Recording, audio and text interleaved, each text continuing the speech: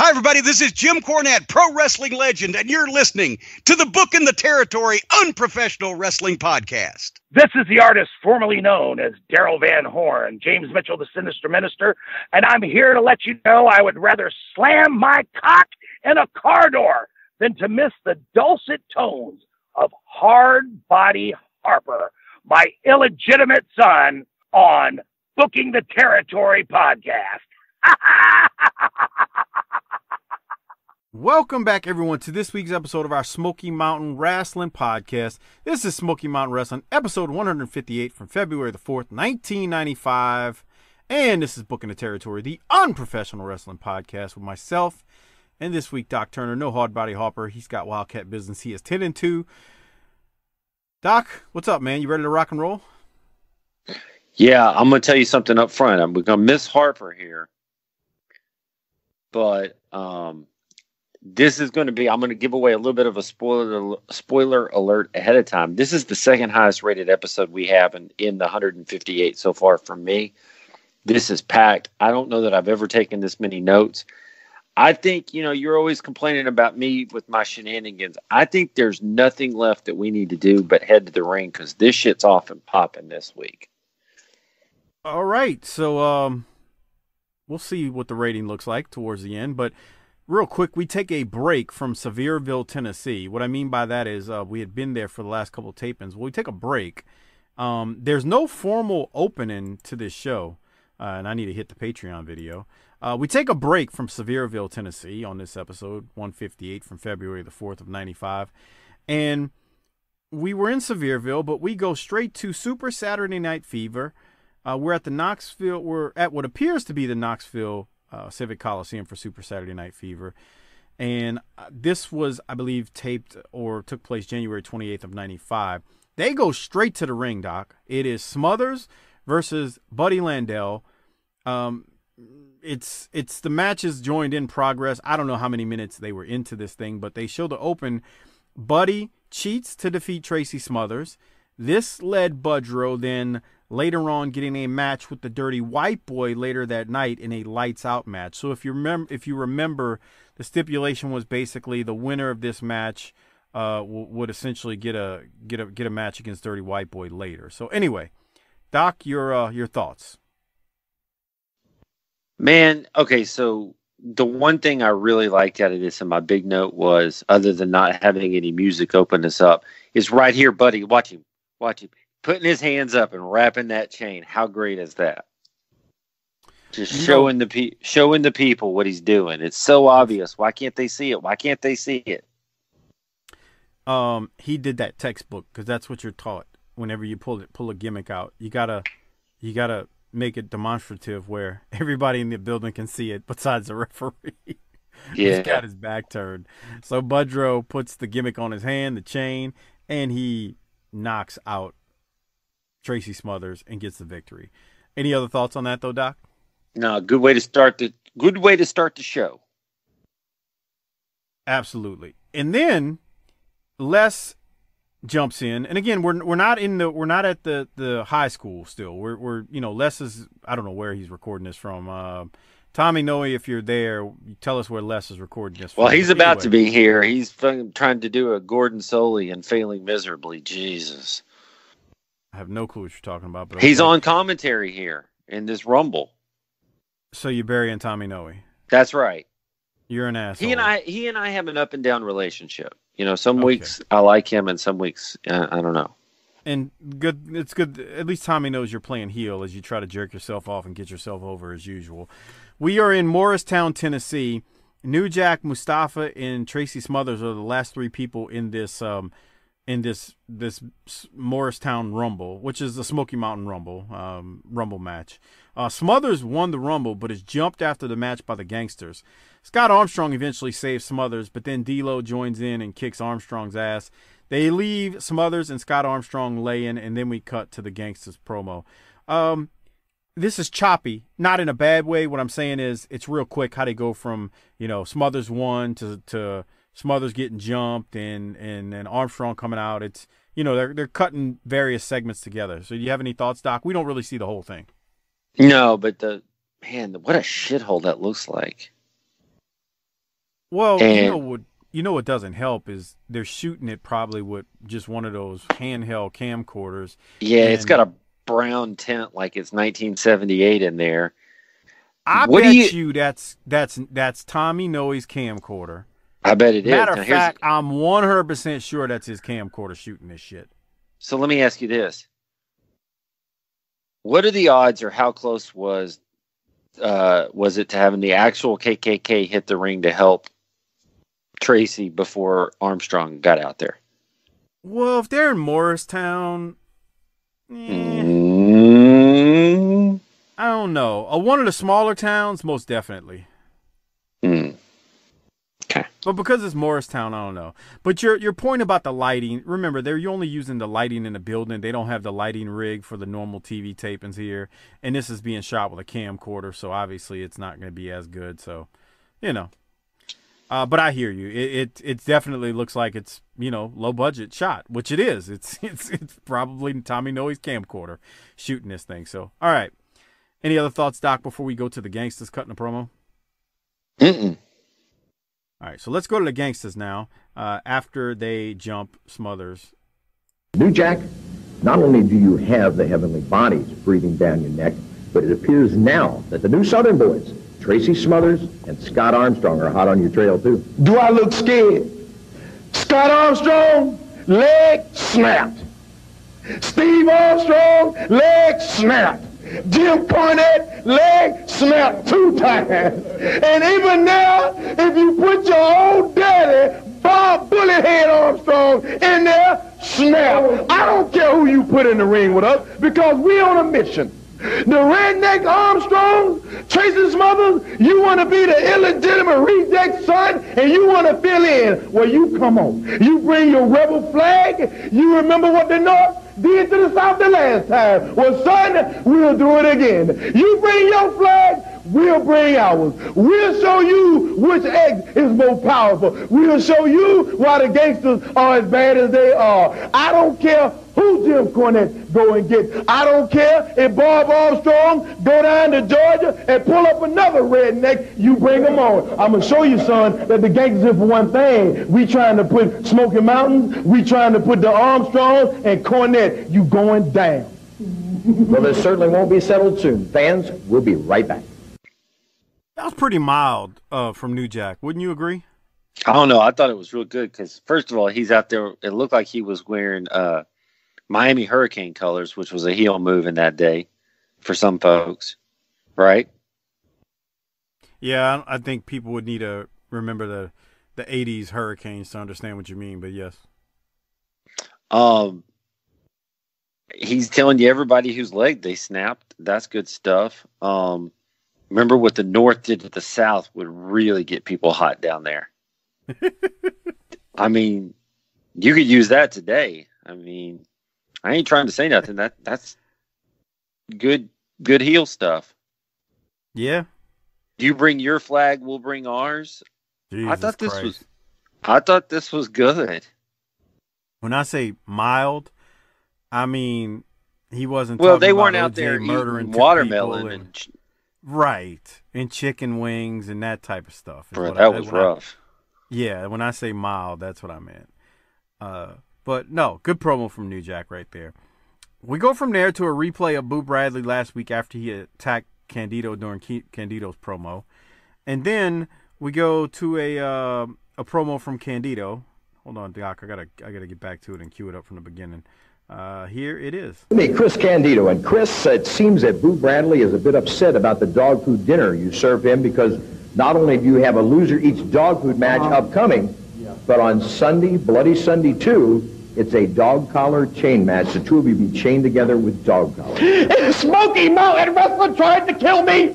Are they trying to murder me?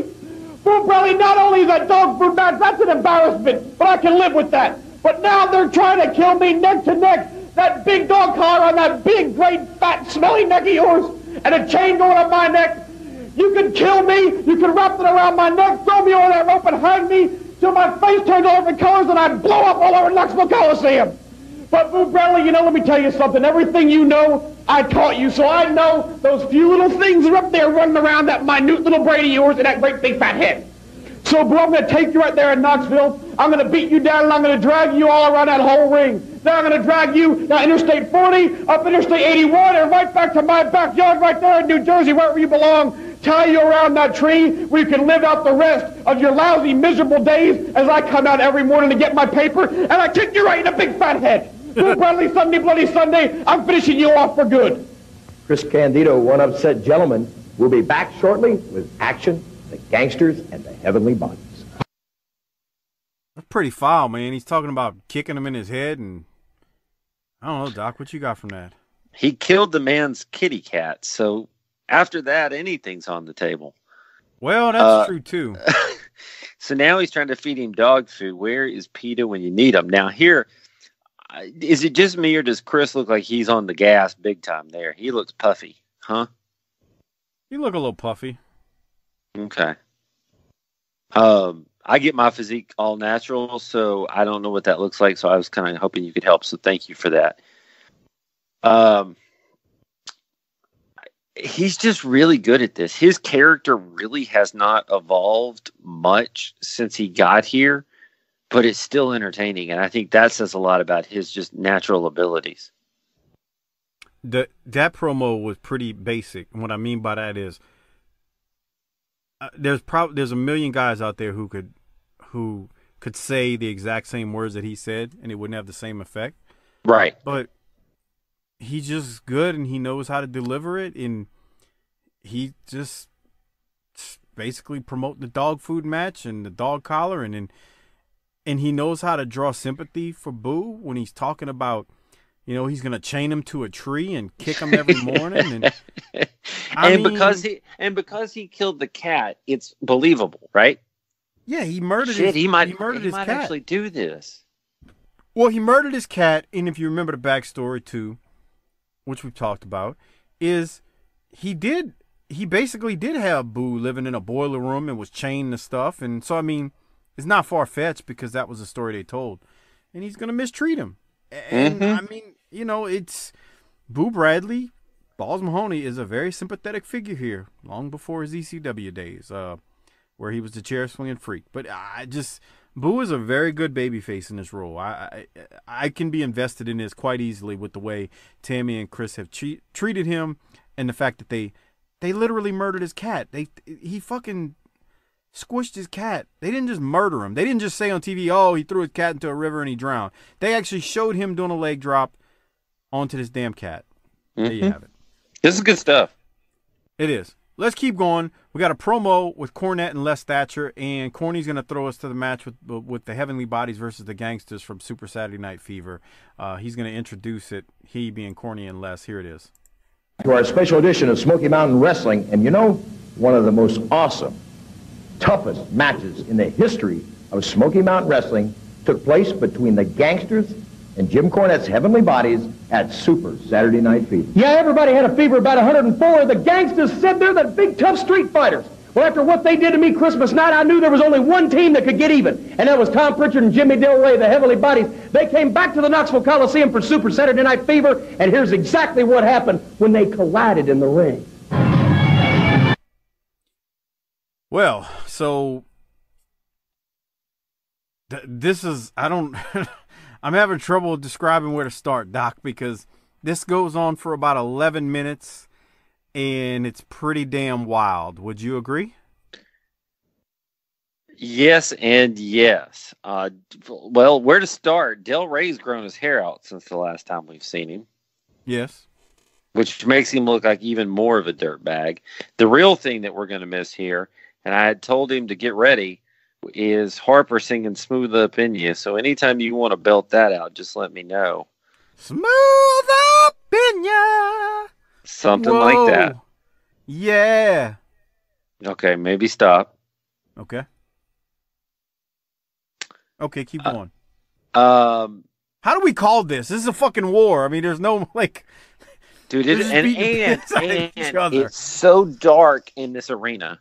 It's too dark, actually. Well, And especially when they're fighting on the outside. and the lights keep coming on and off for reasons I don't understand. Well, I think okay, so here's what I think was happening. I think somebody was trying to direct for the lights to come on, and like somebody was saying, "Hey, get a message, get the lights to come on," while they're on the outside. Because if the lights come on while while they're all on the outside of the ring, you can kind of see what's going on. Like I mean, they spent the first two minutes outside the ring, and you really couldn't see what was happening. So like right now, you see how the lights came on? They're on the outside of the ring, so the lights come Mm-hmm. on. But but then they'll roll back in and they'll turn them down, and it's there was no coordination of turning the lights on and off. Is was was the, was the issue? A So two by was- four was used like when they first went to it, right? Then Yes. powder. Racket, chains, tables. Um, Les Eh, said eh. something. Les said used the word homeboy in there at one point. That made me a Jesus. Christ, I love Les Thatcher, but Les Thatcher saying "homeboy" is just Um, Les Thatcher some- must listen to this show and say, "What in the flying piss is this?" there's tables and powder. Del Rey misses a moonsault. Yeah, And then out of nowhere, we just have a DQ. After all that other stuff that's happened, just carnage, there's a DQ. I didn't like that. So, and I, I there was, uh, the one thing I didn't understand was, so I would here's what I assume. I assume technically the bell didn't ring, and all of that stuff was technically before the match started, Oh. before the official match started. I think that may have been what happened.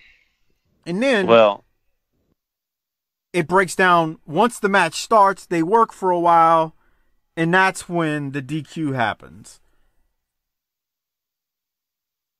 well, these guys had a hell of a match. This was thoroughly entertaining. They got after it. oh and people loved it i mean this is um you know dr tom's about to hang mustafa right here which Hey, this- hey, come on, dude. well he's hanging him i mean i'm not Oh. lying look at it tinyurl.com slash patreon btt at the 1525 mark of this thing and and dr tom is hanging mustafa it's it is what it is And you gotta, you gotta love a country where only a black man can make Jim Cornette a baby face. He's been Ah. stabbed and attacked and slapped and spit on, and now he's a good guy. i've said that i said that when this first happened Because because the Midnight's never fought the Jive Tones, I guess. I don't know. I said that when this first happened.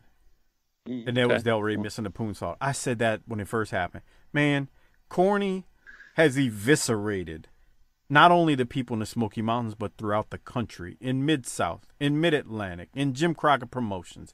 Uh, Memphis, anywhere he's been, he's eviscerated people. But because he's in here with these god dang Negroes, Whoa, whoa, whoa, sir. I'm, I'm, I'm, I'm quoting the people of the Smoky Mountains. He's a babyface. You get him, Cornette. We don't want their kind around here, man. These people are not. They're in here. They're destroying our way of life. They bring all their their their, their 500 kids, and this is some bullshit. Get their asses, Cornette. Doctor Tom beat this some bitch's ass and send him back where he come from. We ain't for this round here, man. Um, back to your point though. They go for a while. It ends in a DQ. Then, Doc Tables. after the DQ, they start fighting outside. They're under the bleachers. They cut from the mat. They, they cut away from the building. hold on, hold on, hold on. Uh, Now, hold on. Before we do get out of the ring, can you get to the tables when the table comes in and D'Lo hitting the table? Let's see. Yeah, he damn near broke his fucking neck. Um, Man, didn't He hit that neck. table awkwardly. So they they they set the table up, and I think they send New Jack into it first. Yeah. So New Jack's about to go into the table, and he hits it, and he just hits it with his shoulder, and then comes off. Uh huh. And then D'Lo D'Lo goes into it in like, or Mustafa's gonna go into it now, and And Mustafa does fine. hits it with his head, and then D'Lo goes into it, and then D'Lo like goes into it to spear it, and Oh, he snapped back. Oh. he hit the piss out of that table. Uh, the table doesn't Uh-huh. break; it just kind of flops. No. but yeah, D'Lo hit it. Mm. Now look at the people; they're going nuts as uh, now the the gangsters are being choked. But this thing ends up being a brawl outside. They brawl in the crowd, then they go outside the arena.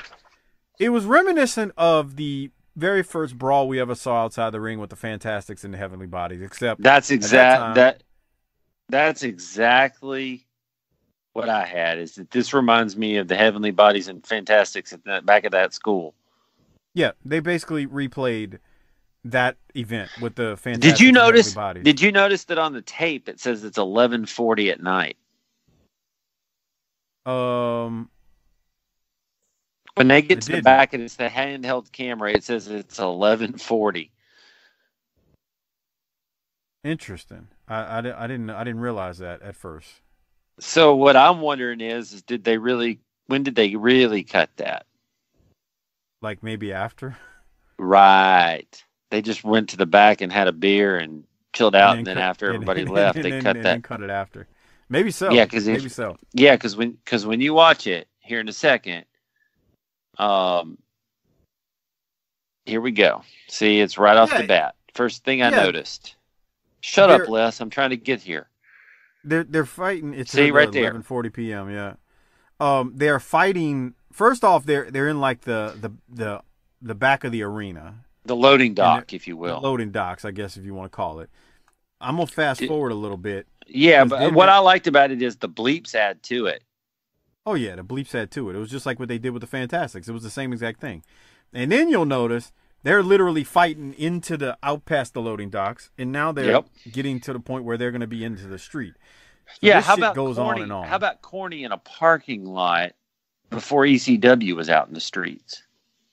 Well, not only that, but I, I, do you think the Knoxville Police Department was aware of this? That way, they wouldn't get phone calls because It's possible. African American men out here fighting three white men, and there's cars passing by. So I'm wondering if Corny tipped off the police department to say, "Hey, you see a brawl out there in the street? It's uh, just the wrestling matches." Or he didn't, and just said, "Let's take our chances." Well, that's true too, because they are fighting. And there's into the cars passing by, and the damn. Here's what I wanted to know, and boy, this is I. I'm joking, and I'm not joking, Mike. It's also 11:40 at night, and you got black men that aren't wearing coats in the wintertime running off into the dark in this part of the country. How safe is that? That's why I said I hope he called the cops. For that reason and that reason alone. Shit. They're lucky they Ah. didn't get their asses shot right then and there. Man, I, I it crossed my mind like they're out there fighting against three white guys. I can see Knoxville's finest pulling up. Get on the ground, get on the ground. If like- they'd have just done what the police told them to, they'd have been fine. Damn. I'm just saying, man. Like, Meanwhile, they got imagine? bullet. They're riddled with bullet holes with the life pouring out of them. And, Shit.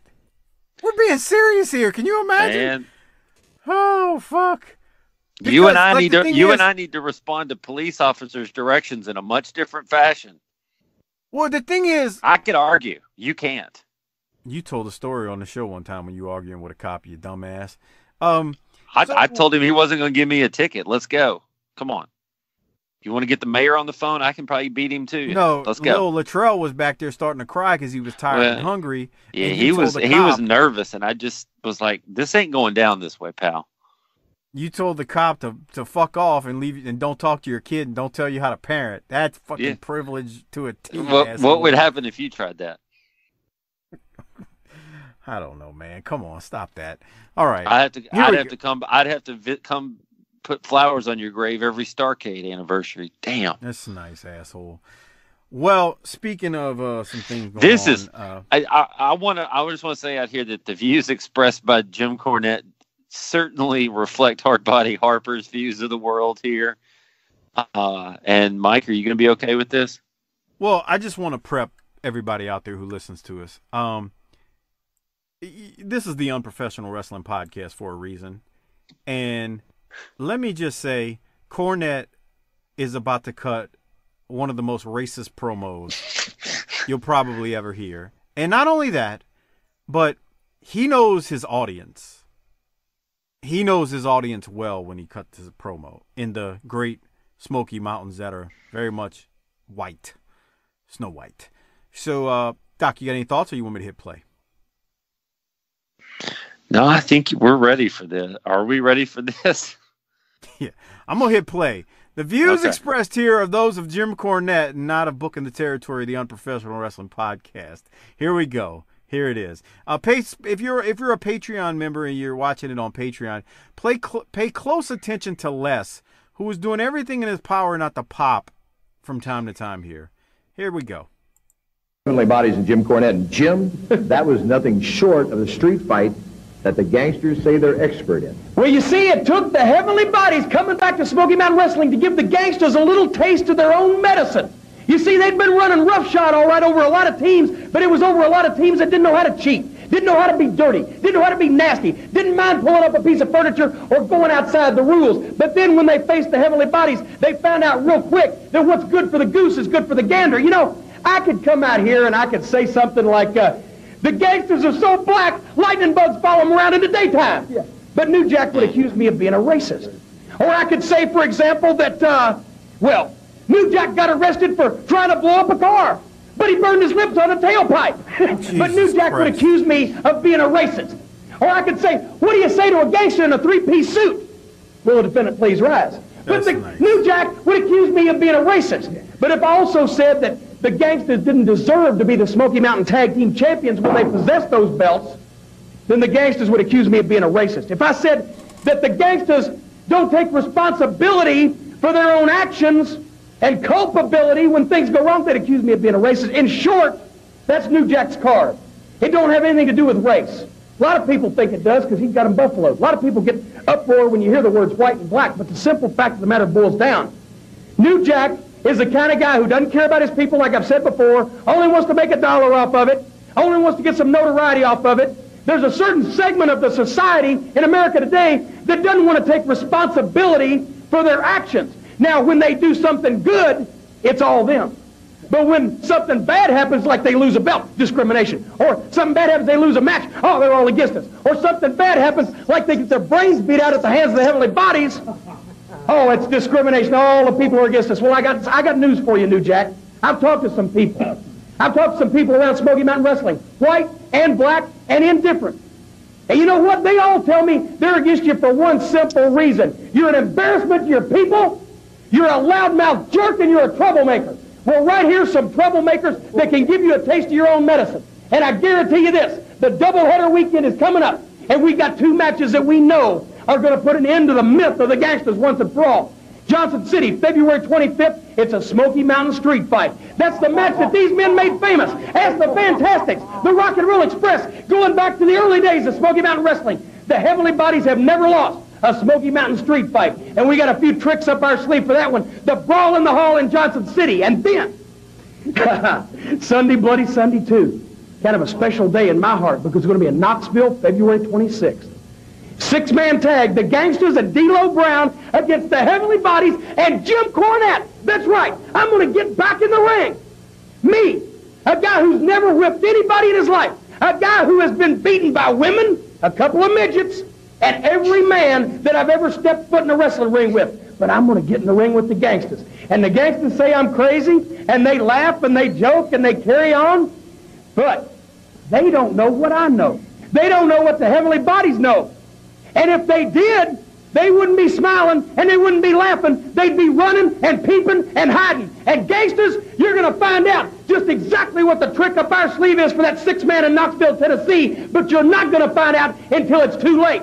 I'm not an idiot. Believe me, I ain't getting in over my head because I got a trump card to play, and the heavenly bodies and Jim Cornette are coming to get some revenge. I'm going to get revenge for a scar on my head. I'm going to get revenge for that arthritis in my knee, and I'm going to get revenge for everybody that you railroaded and roughshotted since you've been in Smoky Mountain Wrestling. Because we're not only going to beat you, brother, Sunday Bloody Sunday in Knoxville, we're going to humiliate you. I kind of feel like it's self-explanatory. I mean, that was a racist tirade, especially at the very beginning. But I don't know, Doc. You want to add anything? I don't feel like I can add much. He said New Jack got arrested for trying to blow up a car, but he burned his lips on a tailpipe. Yeah. But he also cut one hell of a promo in the second half of that too. So he was you're right. He's playing to his audience, but that was a hell of a promo. I mean, he's like, I've been beaten up by women, a couple of midgets, every other every man I've been in the ring with. That was awesome. But then he's like, he's hot. He's like, I'm getting it back you back for the arthritis, the the stitches. I got a plan, pal. So think about that. So man, this was a hell of a. I mean, look, you. It was crazy. It was wild ass. You shouldn't have done it then. Maybe you should could do it now. He was talking them into the building too on the last half of it. Yeah, this was this was wild ass and crazy, huh? Yeah, it, the whole point was it like he knows his audience, and then he promotes. So he says all that stuff about the Gangstas, and then at the end of it, he's pumping up Sunday Bloody Sunday. So I mean, he, he it was exactly what you wanted it to be. I mean, it really was. Uh, if you're talking about textbook promos for, I mean, he said some heelish shit, but not for his territory. It's, I mean, you gotta you gotta put you gotta think of like, God, I hate to use one of Bischoff's like saying, you know how Bischoff says context is king. Well, like, he's not. He's right, especially in this example.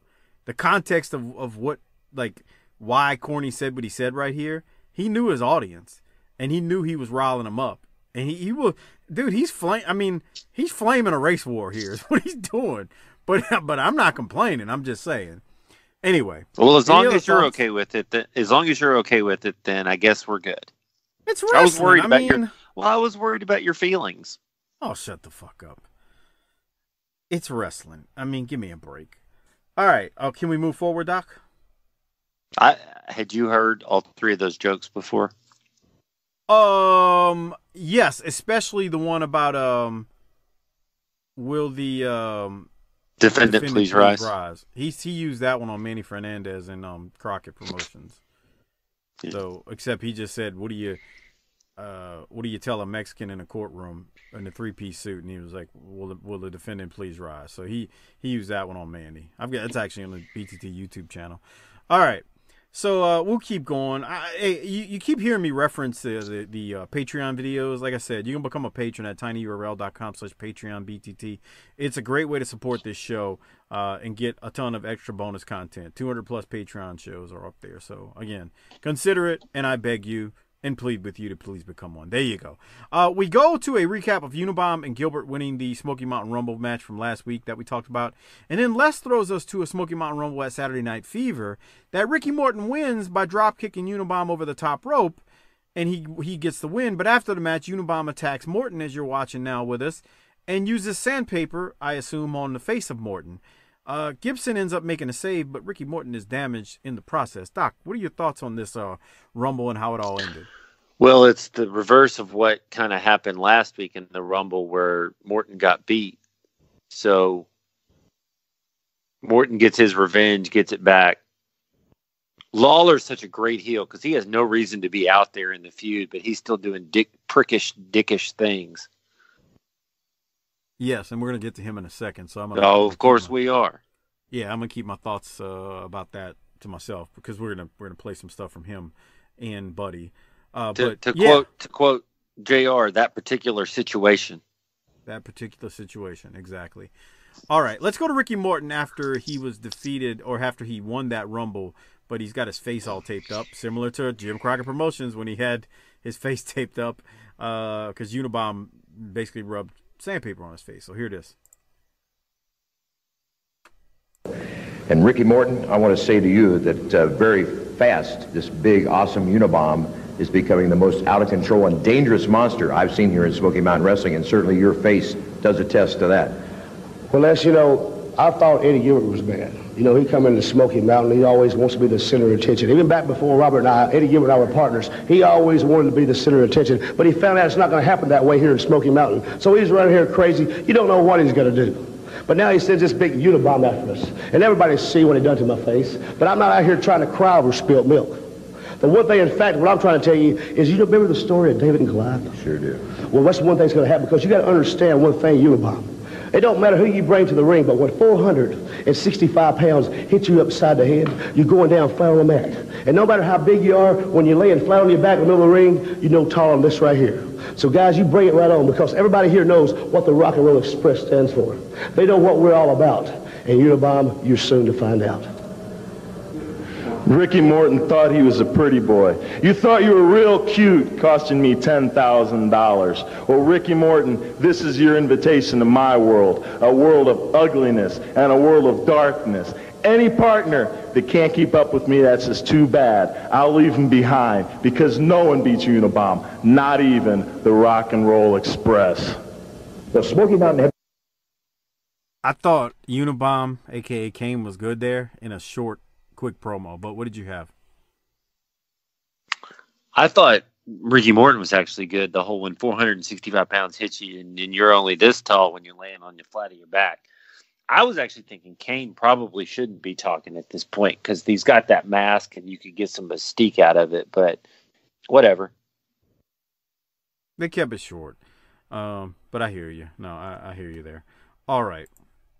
So we keep going. Uh, where are we at? Okay. Uh, Dirty White Boy versus Jerry Lawler. Remember, Buddy Landel is the timekeeper in this thing. Now, they the match is joined in progress, and Dirty White Boy. Let me get to it here. Dirty White Boy hits the Bucksnort Blaster and is about to go for the pin on Lawler when Buddy decides to ring the bell. Now, the key to that is this is supposed to be a 60 minute time limit, and yet just a, like three minutes in, Buddy's ringing a bell. So Les even mentions on commentary that Buddy just said two minutes had passed, like you know, a few minutes ago, and that 15 minutes had then gone by. And now he's already calling after 15 minutes. I'm sorry, I got let me get this right. Two minutes ago, Les is saying 15 minutes gone by, or Buddy's saying 15 minutes gone by, and then two minutes later he's calling for the bell at 60 minutes. So they they they were nowhere close to the time limit. Is my point. Uh, Doc, your thoughts on this as referee Mark Curtis restarts the match? Well, when you've got Lawler and Dirty White Boy out there, those are two guys that are not going to wake up early and hit the gym before the, the ride to the next town, right? Definitely Dirty White Boy, because um, Tracy Smother said that to us. Well, Corny said, has said that Lawler never spent a day in his life in a gym. Well, very believable too. He didn't need to. Did Buddy is to? Buddy is just ridiculous. And I don't know. I mean, I love having Lawler in here because he's big time, man. And Dirty White Boy needs that big time opponent. So it just Yeah, this has a big fight feel to me. it does. So let me tell everybody what happens then. So referee Mark Curtis says, "No, this is bullcrap, buddy. This the 60 minute time limit draw did not happen. We're only like 15, 16, 17 minutes into the match." So referee Mark Curtis restarts the match, and Landel he bans Landel from ringside. The ref gets bumped though. Dirty White Boy hits Lawler with a DDT. Dirty White Boy's got Lawler pinned. Landel comes in while the ref is not looking, comes in and pile drives Dirty White Boy. Landel then puts Lawler on top of the White Boy, and then Landel goes and gets the ref and throws him into the ring. And Mark Curtis counts the pin, and we have a new Smoky Mountain Wrestling heavyweight champion, who is Jerry the King Lawler. Um, so Lawler is the champ. Now, before we talk about that, they immediately go to the next match, which is Buddy versus the Dirty White Boy. So, which is supposed to be a lights out match. Now, that particular match, it only lasted like two minutes. Buddy's farting around, fucking off during the match, and Dirty White Boy hooks Landel and pins him and beats him. And then after the match, Buddy lays a DDT on Dirty White Boy and walks over him. So while Dirty White Boy won this match with Buddy, he just lost his title a second ago. And Landel also gets some good heat on him at the end of it. So a lot went on here, a lot to follow. What are your thoughts as we have a new Smoky Mountain Wrestling Heavyweight Champion, and then Buddy losing to Dirty White Boy, but Dirty, uh, um, but then Buddy getting some heat on White Boy after the fact.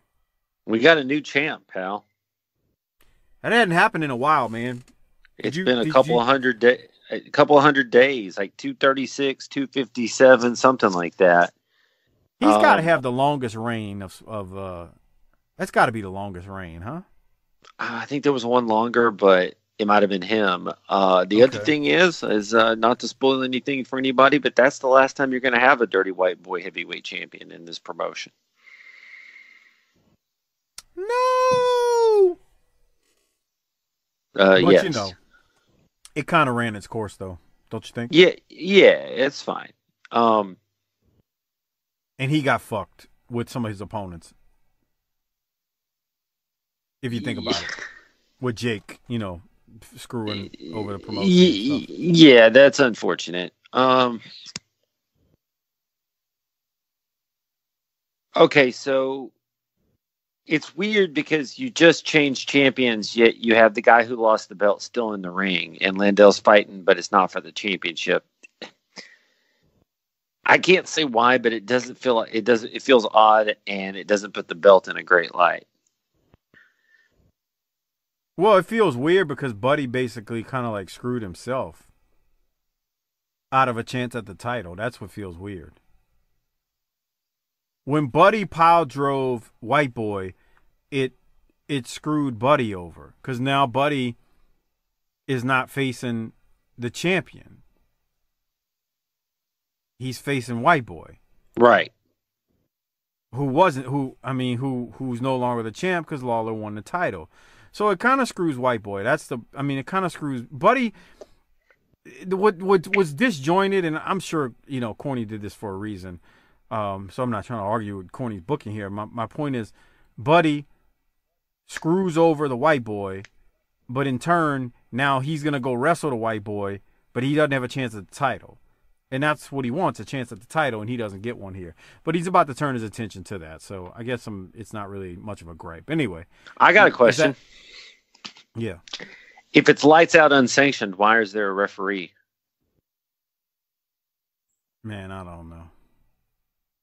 If we're not going to sanction it, why would we give them a referee? I don't know, man. I can't answer that one. Coming from somebody who saw plenty of lights out in Mid South.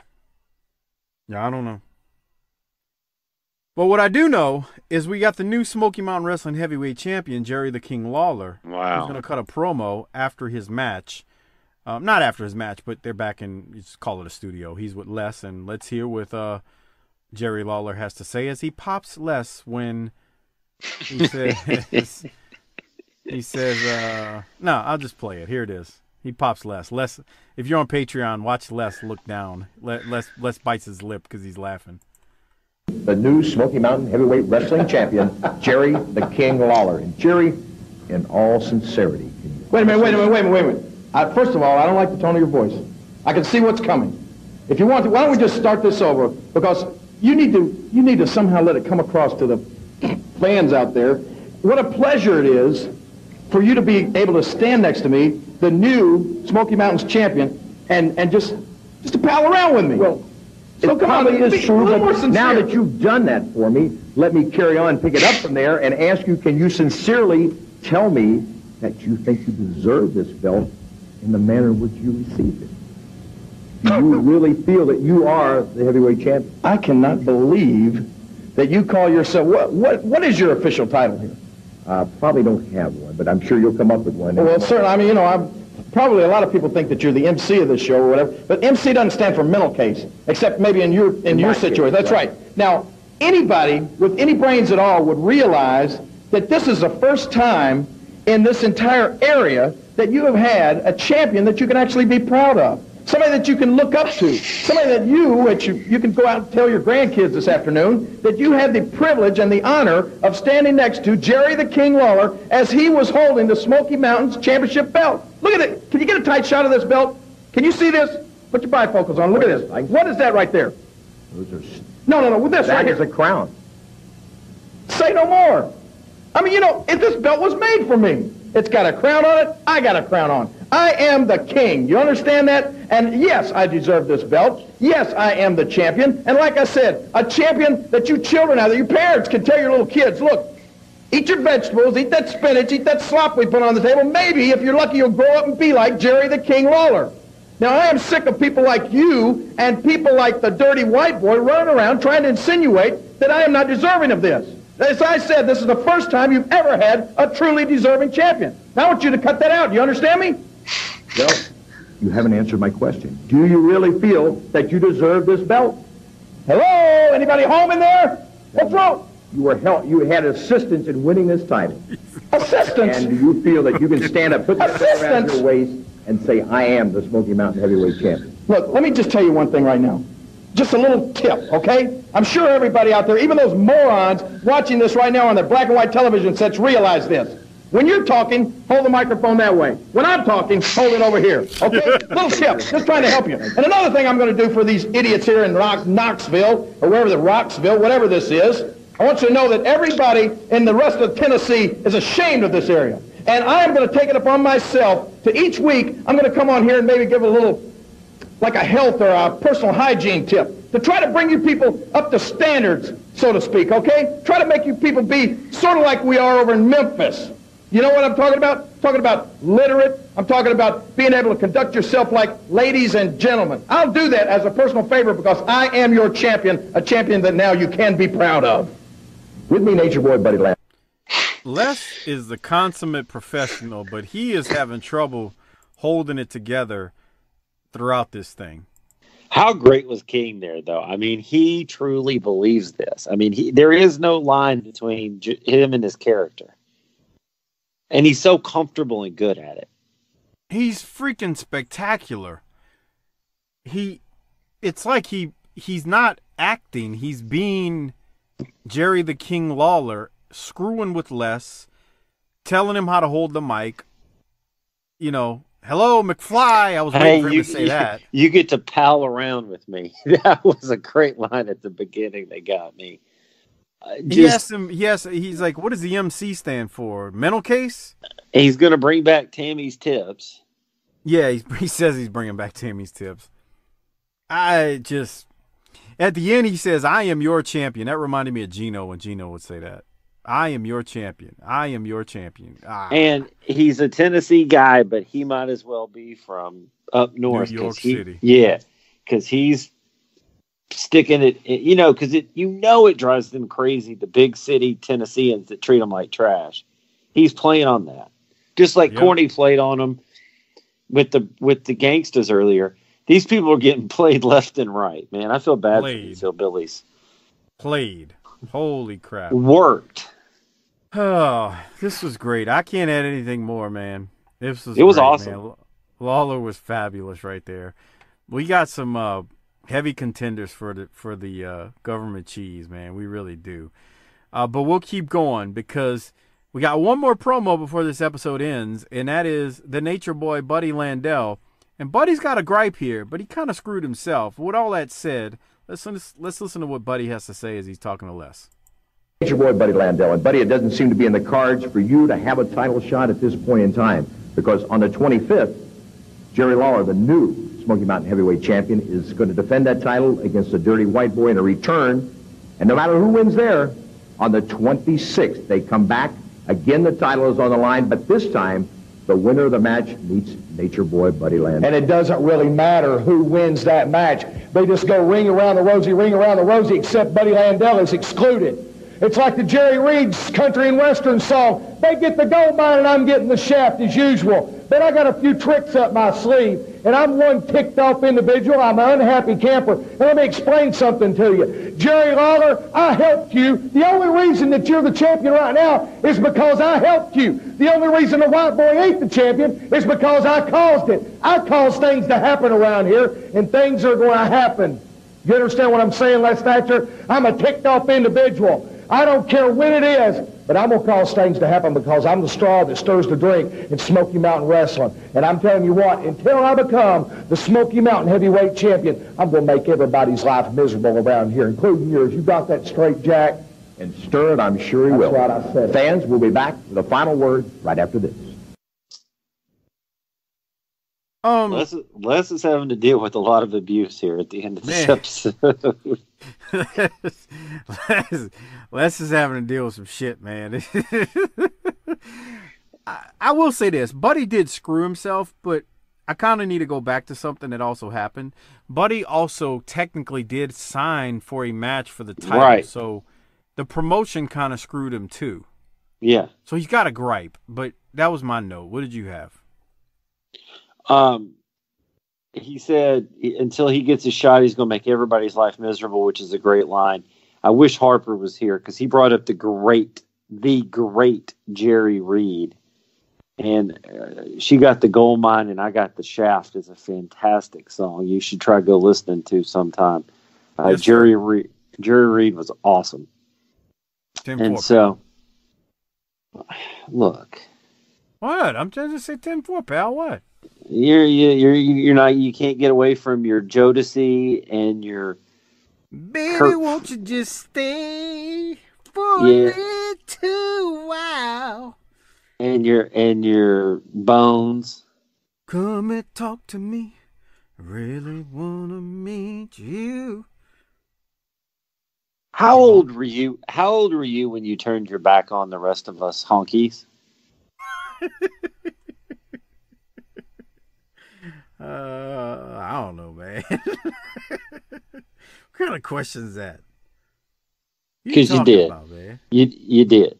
Like I know a lot. Look, I know a lot of of African American cultural artifacts. Just you know, I'm I'm more knowledgeable than the average honky, but you live this stuff.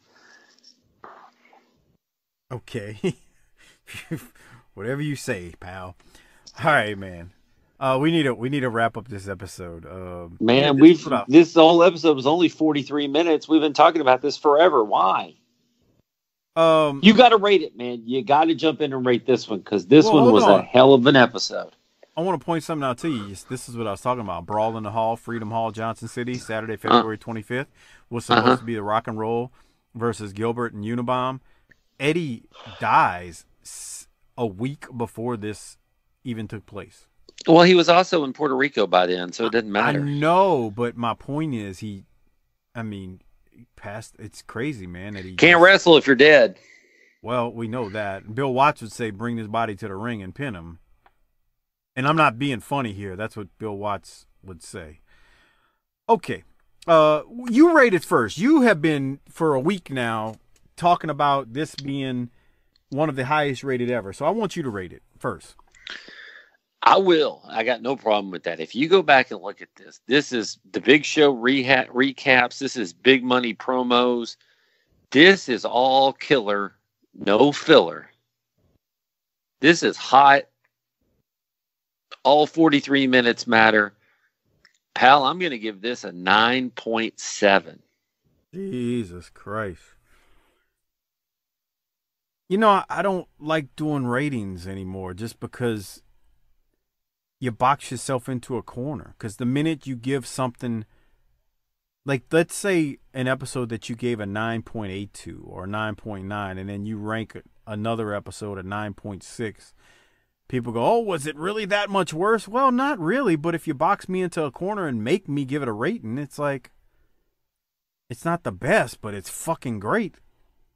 My example would be I would give this episode an A plus on a grading scale of A through F or A plus through F.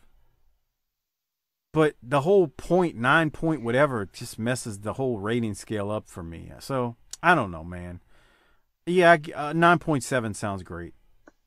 This was good. See, that's what I don't like about that's what I don't like about rating because I think I think when you rate an episode, it takes away from what you're actually doing, which is enjoying the episode. So no matter if I give a Smoky Mountain Rep Wrestling episode an 8.0 or 8.5, a 9, a 9.5, trust me, I'm enjoying it.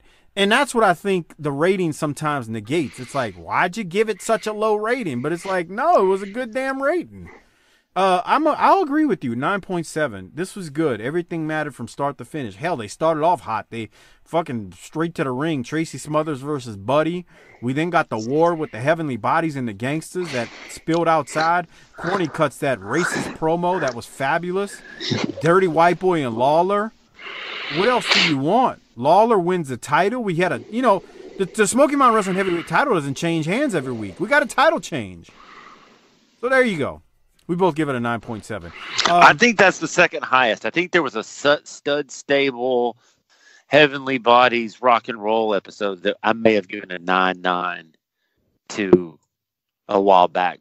But I think I when the Master debuted, in that in that the chaos happened with like Les and and Bob Caudle, not Les, um, Bob Caudle and Dutch, and and Bob Caudle was like going down to the ring, and Les like, Bob, don't go down there, you're gonna get stabbed. Yeah. What are you doing? I think we gave that one a high rating too because of the because of the carnage at the end. but this is up there, man. And most people will say, and rightfully so on some on some ways, you know, ninety five Smoky Mountain, ah, you know. And in some ways they're right. And it's gonna get rough later in the year, but man, this is hot and this was fun. I, I just I'm just using my rating to celebrate the greatness, pal. I had a good time. I, I, I It- spent it with you. Most importantly, we had we had precious times together. It's the um, it's the finish of of Smoky Mountain in '95. That's Right, right. They come in '95 hot. yeah, yeah. It's the finish. It's not. It's not the. It's not the uh, beginning. What if anyway. What if Robert Fuller was around to cut promos on the Gangstas? Holy shit. We talked about that when they came in. Can you imagine that motherfucker talking to New Jack? no, no, I can't. I mean, yes, Listen I up, little can. fella. Hold, t- stay out of my face and hold the microphone high. I, I would love. Uh, it would have been like people I That's knew a- when I was a kid. The old men sitting around talking about your people. Dude, dude, that would be the the heat. Cause see, full Corny can Corny Corny can do it, but Fuller can Lives play it. up to that. He sounds he, it. Right, and he could play up to them fucking Tennessee folks and Kentucky folks, and oh, he would be speaking their language to them, and and dog you wanna- whistling too. Holy shit, it would be phenomenal. Now you boys, and he would call anybody boys. But but it would be the way he says it about them. Yes, and all Let of me a tell sudden, you people something about these boys here. Let me, hold on, boy. I mean, it just would be the inflection that he would give. God, a master. The rest, the wrestling world will never know that. Okay, uh, I feel like the government cheese is going to be hard to give. I want to remind you all: use the Amazon referral link, tinyurl.com/slash Patreon. Um, I'm sorry, tinyurl.com/slash BTT Amazon. Great way to support this show. Uh, go buy Bobby Blaze's book, Pin Me, Pay Me. Bookmark tinyurl.com slash BTT Amazon. It is a great way to support this show. Uh, Doc, we got actually four minutes left on the Patreon video, so let's get this in real quick. Uh, who are you giving your government cheese to? Lots of opportunities, man, and you know it's got to be hot when the guy who wins the the strap for the first time in almost nine months doesn't get the cheese. That's crazy. Um, I'm going to say corny for that promo. That was ridiculous, and he did a lot of bumping around. He took bumps on the parking in the parking lot on this shit. I'm gonna give it to Lawler only to only to I just it's not fair. It's just not fair. Like Corny should get it, but I'm gonna give it to Lawler because I feel like that's how good of an episode this was. Lawler's promo with Les was phenomenal. Corny's promo was phenomenal as he spoke to the people in the area. Again, just a great episode, man. This What do we is say? wrestling. for for real. How many flips and dives did you see? Well, I saw I saw D'Lo try to do one, and it didn't turn out so good. Yeah, but uh, yeah, personal issues, talking shit, ass whooping, you know, the usual. Yep. Uh, Fritz von Mulkey would love this one because uh, you know he hates all the flips and dives, and um, he would definitely scream, "This is wrestling" uh, with this episode. So, all right, Doc. Uh, before we get out of here, I want to mention a couple of things. First, check out the wrestling podcast about nothing with Ring of Honor's Brian Milonas and Mike Crockett as they do their show every single Monday. They talk classic and current stuff. So just search the WPAM wherever you get your podcast from, or Wrestling Podcast About Nothing. And check out our Vantage Point, the Retro Wrestling Podcast with Joe Murata and Michael Quinn, the northern version of BTT, slightly classier, a little bit more professional, but still fun nonetheless. Uh, they support us, so please support them. Our Vantage Point and the Wrestling Podcast About Nothing. Doc, you got anything else before we get out of here? Okay, man. First of all, we done two shows tonight after a full day of work. We didn't have Harper on the second one. Then we watched what possibly is the top three shows so far out of 160 shows. I'm tuckered, pal. Let's let's you know probably ought to get on. Go ahead and get on out of here. So let me just say this: uh, for Doc Hardbody, who's not here, uh, Mike, can you go ahead and hit the tagline and get us on out of here? Book it, bitch.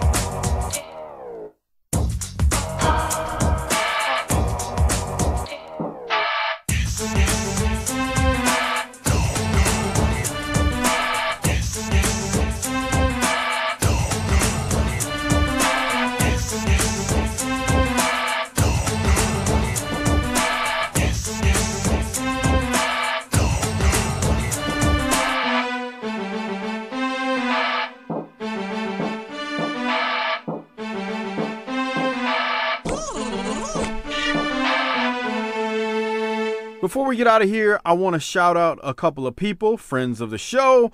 Also, want to shout out some Patreon members and thank them for their patronage. Uh, before I do all that, like I said, a couple of friends of the show and podcasts that we hope you support. Check out the Wrestling Podcast About Nothing with Brian Milonas from ROH and Mike Crockett. They do their show every single Monday. Monday mornings, the shows drop. They talk current and classic wrestling, along with some indie stuff too, but it's a good show. They're friends of mine, so please support them because they support us. Also, check out Our Vantage Point, the Retro Wrestling Podcast, run by buddies of mine, Joe Murata and Michael Quinn, as they give their take on the northern side of pro wrestling's history. Slightly classier, definitely more professional than we are. Thank you, Joe and Quinn, for all of your plugs. We appreciate it. Also, check out the Bottom Line cast with Mike Prue and JV. They do their show. I believe their shows are dropping on Wednesdays these days. I keep forgetting, but uh, they're basically breaking down the career of Stone Cold Steve Austin. So check out Mike and JV as they do their thing. Great show. And also, Mike and JV do the ECW Extreme live cast on our Patreon feed at the $5 level. So good guys doing some good work, and I appreciate it, Mike and JV. Thank you for all of your support.